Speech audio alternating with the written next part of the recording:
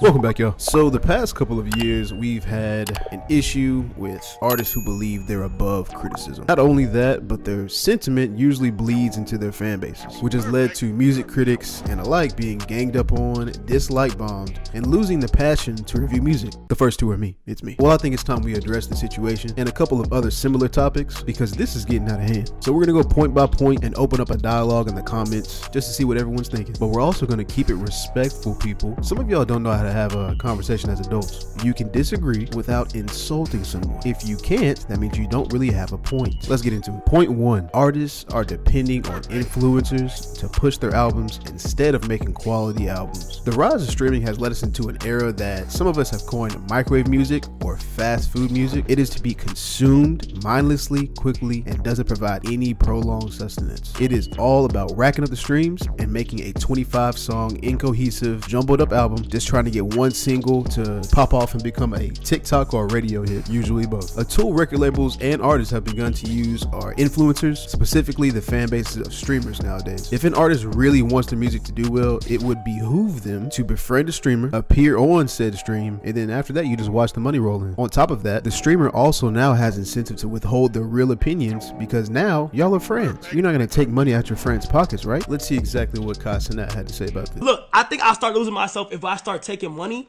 and obviously a label gonna want to sit, to want you to say it's nice as fuck. Yes, it's cool, like it's good, it's, it's nice as fuck. But then then I'm not being real with y'all. And the way you can know I'm not being real with y'all, neither chat, is if the shit clearly ass and then I'm saying it's nice. During the same stream, Kai also discovered something else. So I'm gonna show the clip out of context and I want y'all to guess why this happened. Lying. Wait!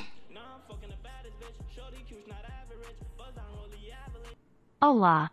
Okay, what's her at? Bro, Glow, please. I was wondering why I don't see Glow. What's her shit? No way! Glow! Glow, there's no way you blocked me, bruh. C. Don't come on my lab asking me about nobody that I done blocked. Fuck you talking about? They blocked and they gonna stay there. You made your bed, you gotta lay there, nigga. You see, this is the flip side to that equation. What if the streamers react earnestly and your song is trash? Left foot now, y'all. Move to the left. Right foot, left stomp. stomp. Now hop one time. No, no, no, no, no, no. Come on, Glow, Glow, Glow, Glow. Glow! I love Glow, bro. Kai on stream listened to Glorilla's song and he wasn't wasn't feeling it. Is that a crime? But when he expressed his thoughts, she blocked him on all socials. Before that, they appeared to be friends. But like I said, this is all part of that play. Because now if you're not gonna say my music is good, you're of no use to me. Not only that, she basically threatened his life. What bed? You made your bed, you gotta lay there. Ah, look, she told me calm down, 'cause I would be throwing subliminals at you niggas. What's the lemons you finna throw? I come visit jails. I stab niggas. I really stab niggas in them jail cells. But thank God her and her friends were too dumb to realize he was in a fake jail. And at the end of the day, Kai won that. Would have been better if he stuck the landing on the phrase. I'm drunk as fuck. I might go around and unblock Kai. You might have a shot tonight. Wait, wait. Hold on, let me talk, let me talk. That ass, let me talk. Big GL. Hold on. Glorilla. Oh shit, he. You laid your bed, you better stay there. Still 1-0 Kai. This goes into a later point that I have, but Glorilla thought she was bigger than Kai Cenat. She thought she had more juice than Kai Cenat. Maybe y'all thinking this is a one-time thing. Maybe y'all thinking this is only recently happening, but this has been going on for a while. Y'all remember Shiggy? He used to dance to songs and shit. Most famously, he danced to Drake's In My Feelings.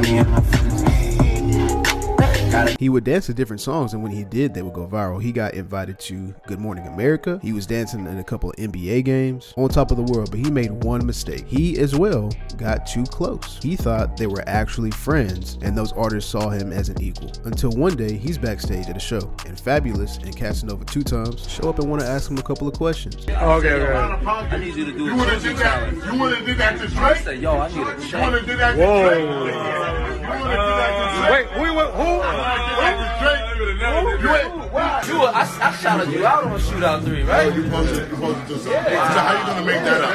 How you gonna make that up? What you gonna do to make that up? We on Fab Live now. They want him to promote their music, but they don't want to pay him. They basically allude to them shouting them out in a song and his payment for doing a dance as equal, like they're worth the same. And because of that, you owe them this favor. Here's how I see it Shiggy had to become Shiggy for you to shout him out. Also, you did that of your own volition. So now you're asking him and he's telling you his price. There's nothing wrong with that. Someone call Ray J. So when I seen him, I was with Floyd and 50, and he tried to say, don't touch me, and I touched that nigga. I'm sure they're cool now, but it just goes to show even in 2018, the power of influencers was there. For this one, I kind of have my own recommendation. People need to stop getting buddy buddy with each other. If you're a fan, you can't be friends because people are always going to assume that you're promoting that music because y'all are cool anyway. So I just say don't even have the hassle. Don't even do it. But if you do take money to promote, just put a disclaimer in the video. That way we know it's not a review, it's more of a listening party, which leads me here. In defense of music reviewers and critics, I myself am a music reviewer. I'm a normal guy that listens to music in a normal way. I listen while I work out, drive to work, while cleaning, like a regular person. When I speak about the music, I tend to use layman terms, unless I want to get fancy and go track by track, then I'll fuck it up like that. I also tend to listen to people I'm already listening to, as in I'm already a fan. Now, a critic, Fantano specifically, has a very difficult job. They have to be objective about a large swath of music across many different genres. They listen to music like a wine connoisseur. They swish the wine around in the glass, smell the contents, talk about the qualities, and take a tiny aromatic sip. I'm more of a Franzia box wine guy, and I'm drinking to get drunk. We're consuming in very different ways, but where we're similar is we're not giving out ratings out of malice. If I say a song wasn't good, that doesn't mean I hated it. If I say an album was bad, that doesn't mean I hate the artist and everything they've ever done. It just means that I listened to the album and it simply was not good in my opinion. You're welcome to yours too, and I'm also not a fucking stan. In 2001, Eminem dropped the song following a man who is his self-proclaimed biggest fan. It started with a letter, then intensifies after M does not respond. The fan wanted to feel validated and seen, and as such, things eventually go off the rails. This song highlights the danger of fans' love turning into an obsession. An obsession, people. The name of that song is Stan. It is not good to be a Stan. Stans are the type to murder the artist because of the unrequited love that they hold.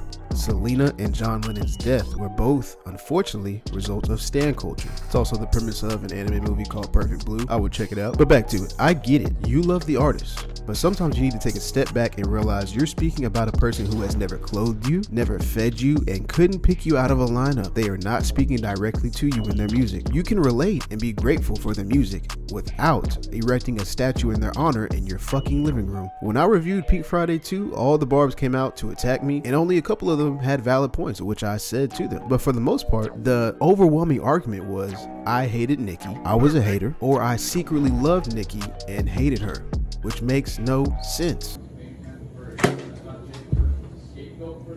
I love Nicki, I've been a fan since 2009, but the argument that they're making only works if I hate Nicki. And therefore, they have to put me in that box because they're not there to listen to an album review. They're there to defend their queen. Now is a good time to talk about confirmation bias. When people look up album reviews, they're very rarely looking for an actual opinion. Most of the time, they're looking to confirm what they already thought. The thought that their favorite artist only releases fire. Listen, he lost me on 8 a.m. in Charlotte when he started talking about uh, 21, wherever you go, I go, we Yugoslavian. That for me is unacceptable. There was some bad. And Get it? I don't care about this shit though, dude. It's like, did it ever occur to you, bro, after a certain point of listening to you talk, that niggas don't know what the fuck you talking about and don't care about these random ass fodder niggas that you keep mentioning in your raps? I remember fighting over Monica with Jason. I remember only. Who the fuck is Jason? And that's not realistic. Humans are incapable of perfection, and that's okay. I promise you, your favorite artist does not want to live up to your idea of perfection every single day. Not only that, but it's incredibly disingenuous. Stans put all of their artists' albums on the same level. They're all good. They're all perfect. They don't make mistakes. In reality, I would bet my money, all of it, that your favorite artist would love if you loved their favorite song. I know that may sound weird, but yes, your favorites have songs that they do and don't like in their own work. And it's probably one of the most obscure tracks on the album. Even they don't think everything that they create is top tier. Well, most of them don't. My last point being because labels have started signing people who are popular and not talented, as told by Nicki Minaj here, Labels do not care about talent anymore. It's about your popularity. So the music industry has changed drastically because of that. So when I was growing up, I would put on the radio and hear talented people. When you guys put on the radio now, you hear popular people. We have many artists being built upon a house of cards. These labels see a small spark and go, oh, we can build on this. Let's give them a shitty contract, wave a million dollars in their face, and for lack of a better term, pimp them out. During their tenure, they are told yes to almost everything because all the money that they're getting is a loan. It's the first time they've seen this type of money. They probably just became the head of household. Lots of changes to deal with. So in their head, they're the king or queen of the world because all this is working out. And if you use this to catapult your career, more power to you. But if you get up on this like I said, House of Cards, and you think you just king shit now. Nigga, fuck J. Cole. You was a bitch ass nigga. You was an ugly ass nigga. Then let me tell you about the inevitable. One day, you'll stop making that type of money. You'll have to depend on all the relationships that you burned with your peers and fans because you haven't built a good foundation. You don't have people that truly wanted to work with you. You have label mates that were forced to work with you. You have producers that hated working with you. And I'll just be watching from a distance with my Shinigami eyes, counting down the last few seconds of your career. But hey, do you, man. You know, do you thing. I have a message for all the other artists who don't have their own heads up their ass. Not that anyone will ever see this, but I would like y'all to remember that people love you for various reasons. Some of you are people's childhoods, maybe someone's song that they played at their wedding, songs that healed them from a heartbreak. You did all that and you matter, but you're not infallible, which again, say it with me, is okay because you are more than your latest album release and first week sales. And as a matter of fact, I'll be starting a series pretty soon going over the reasons that I love the artists that I love. It'll be coming out sometime next year. Be on the lookout for it. But in the meantime, y'all be safe, y'all be nice to each other, and I hope y'all have a wonderful year.